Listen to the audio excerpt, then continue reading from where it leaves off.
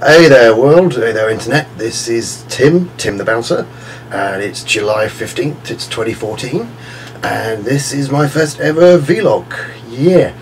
I got, a friend of mine told me I should have a go at these because apparently this is what all the cool kids are doing these days, so this is just going to be like a forum by which I'm going to tell some stories, talk about working out, talking about my, my work as a bouncer, used to work as a bodyguard, you know, got some old tales to tell, but uh, got some grey hairs from it all too, but still in good shape, I think. you know, for a 38 year old. Well, only for a few more weeks actually. 10 and 39 this year, then it's the big 4 after that. It's a little scary, huh? hey, who wants to get any older? So, anyway, just to tell you a bit about myself, I, uh, as I said, I'm a bouncer in London. I work at uh, a fire at a gay club around uh, down in Vauxhall, probably half of you guys who are watching this will have seen me on the door at some point or another. I train at the Powerhouse in Islington, a massive, loud, sweaty gym with all the obnoxious people wandering in and out. Yeah, I'm one of those obnoxious people. But, uh, uh, so, I was going to use this channel to share stories, share tales, uh, maybe give you some nutrition guides, maybe give you some uh, workout guides. So, yeah, click if you like, click like if you like, follow, and I'll be making some new videos soon. Alright? Okay, this is Tim the Bouncer. It is July 30th, 2014. Thanks for all your comments on my last video. I'm glad everyone liked the workout video. Uh, keep the perfect comments down next time though, you know, this, uh, flattering though they are, they're a little creepy at the same time. And I'm sure you all know who you are. Alright, okay. I have had the weirdest night last night.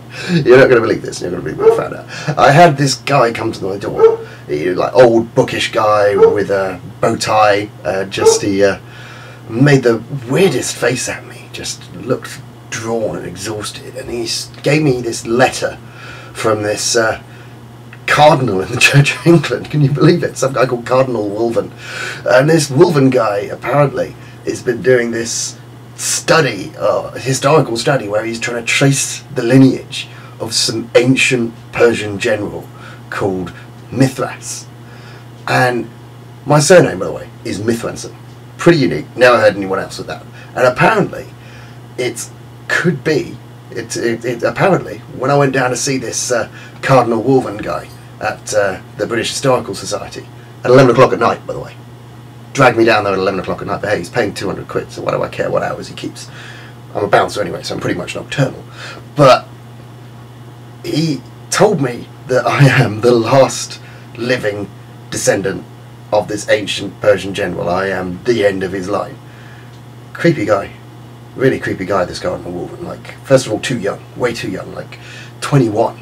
I've never seen a 21 year old cardinal. You can't be a cardinal at 21 tiny little guy, really pale, needs a tan. Way worse than I need a tan, but like really needed a tan.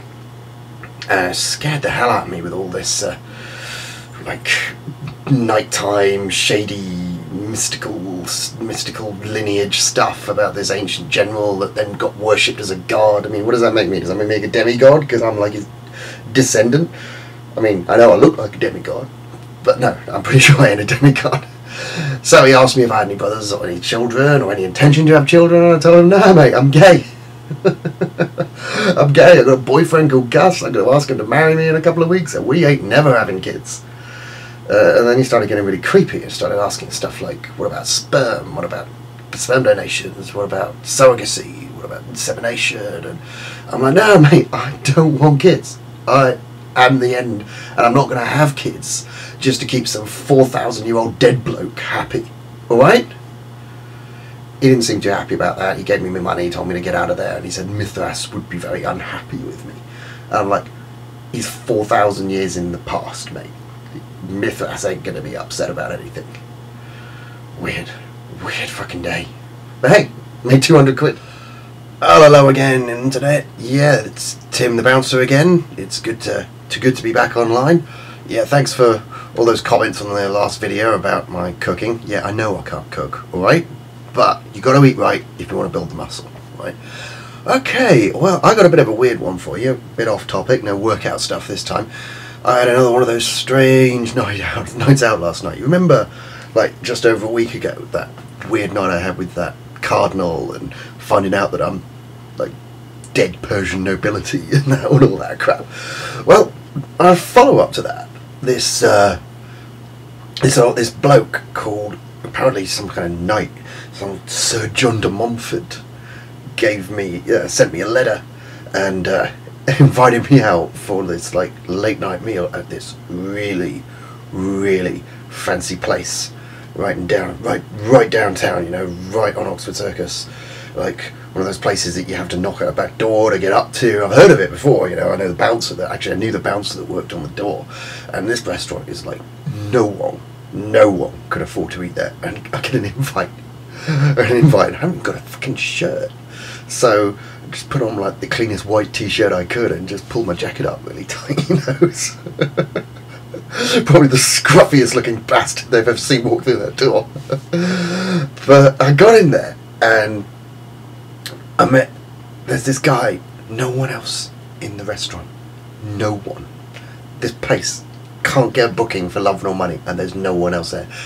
And it's this, this guy sitting at this table and he is he's younger than me, you know, like 25, smooth skin, pale as anything, and he had like one eye like was all white. It was pretty gross actually. It just like didn't know if we one eye was staring at you or not staring at you, and he was dressed like someone out of a BBC costume drama, you know, fully shirt and everything, and he just looked totally out of place in London. You know, the fashion capital of the world, and he's living somewhere in the dark ages. so I thought, oh god, this is going to be some creepy affair. He's going to talk to me. He's going to, you know, go on about this whole like Mithras history stuff, and I'm just going to have to tell him to back off again, and it's going to be one of those weird things. But I sat down and talked to him for like a couple of minutes. He offered me a drink. He offered, showed me that I got to order something from the menu. Fucking nicest, nicest food you ever heard. Like meat from meat meats from the most exotic locations. You know, I, I, got myself a steak, of course. Don't ever turn down a steak, free steak dinner, right? He didn't order anything though. He didn't say he wasn't hungry. He just spent the whole night drinking from this wine glass. It wasn't even wine. It was like some thick red liqueur or something. It looked like like a strawberry crase or something. I have no idea. After five, like five minutes of talking to this guy, though, you won't believe it. It's like we were best friends. just after a couple of minutes, he just put me right at ease, and it's like I've never felt so comfortable with someone. Just like I liked someone so much so quickly, you know? And I just told him everything. Just shared all my thoughts, my dreams. He was asking me all these questions about my life, my career, and you know, it's the same creepy questions as that Wolven guy the other night. Like, are you gonna have kids? Are you gonna get married? Anything like that. But I'm like, no, but I didn't seem to mind from him. It's like he just had this presence about him. It's creepy when I think about it afterwards. How easily I uh, just spilled the beans to this guy. Not that I've got any big secrets, but you know, normally a pretty guarded fella. And when you get someone dressed like a fucking Renaissance fair reject starts talking to you at the most expensive restaurant in London that is somehow empty, you don't expect to suddenly start enjoying yourself. Strange. Anyway, halfway through the meal, some suited guy wanders in and walks up to him and, and says that some urgent matter has called, it has to, it needs his attention. Strange enough, he called him Prince John. Prince John. Never seen a member of the royal family looking like that. I'm pretty certain he's not a member of the royal family. Must be some kind of nickname or, or something like that, because he ain't no prince that I've ever seen. So yeah, I'm having a weird couple of weeks, guys. Really is. Weird couple of weeks. World's a strange place. Be careful. Alright, this is Tim the Bouncer, and it's August 12th, 2015. And I've got some, some stories to tell you, right? It, has been one hell of a night for me. You know, first of all, good news. Got to Gus up on the roof last night, sunset, surprised him, asked him to marry me, cheap ass ring from Argos. One of the advantages of dating a guy is they don't give a crap about diamonds. So, you know, nice simple 20 quid ring from Argos. Asked him to marry me. He said yes. He said yes. yes. I'm engaged. I'm to get married. I'm a fucking married man.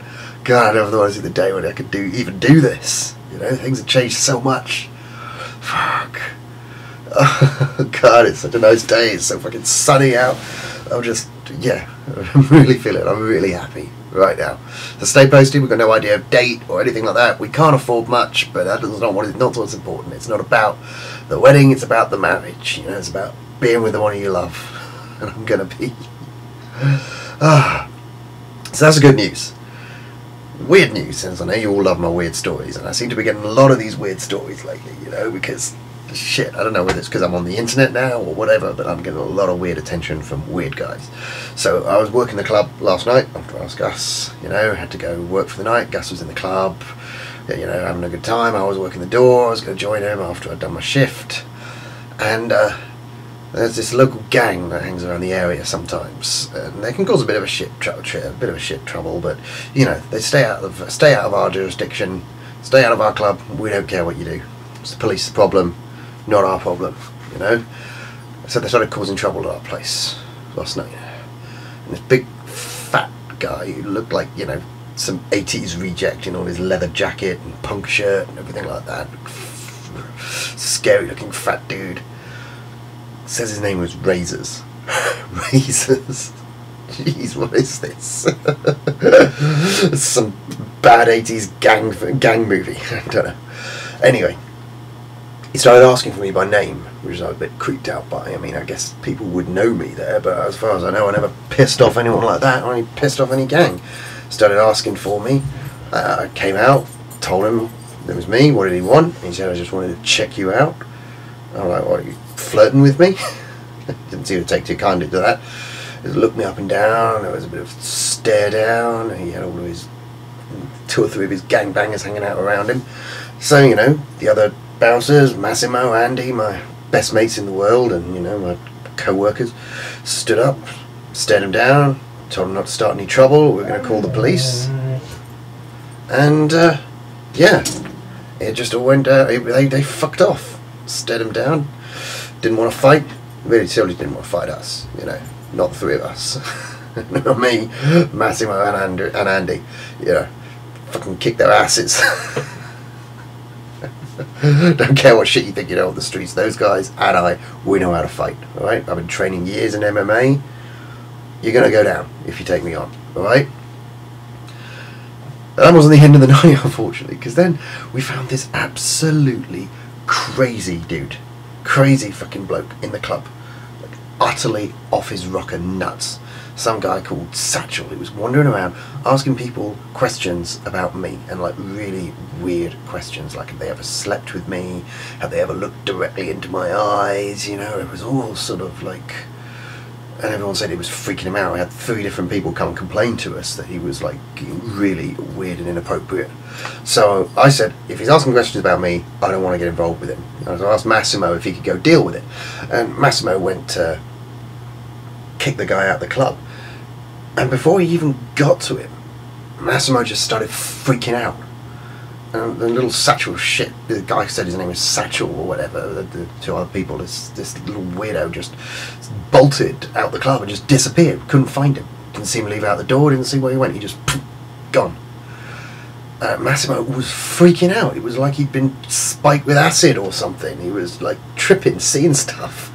Really Not a nice trip either. We had to sit him down in the sitting down sitting down in the ticket office and just get him, you know, a cup of tea, calm him down, get him settled, get him water, and he was all right by the end of the night. But, jeez, who are, who are these fuckers coming around my club and my house, making my life weird and a perfectly normal, perfectly easy life?